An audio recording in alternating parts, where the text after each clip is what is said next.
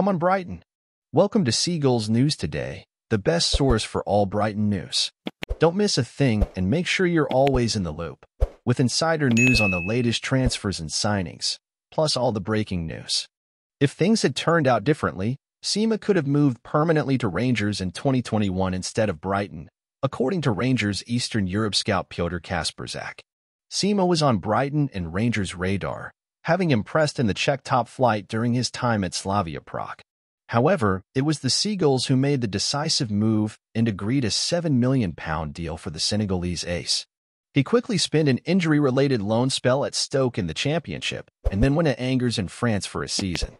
Sima, who has never played for Brighton, has struggled to find his best form at both clubs but is now on loan at Rangers, having scored nine goals already this season. Brighton striker Abdel Sima is starting to show his true potential.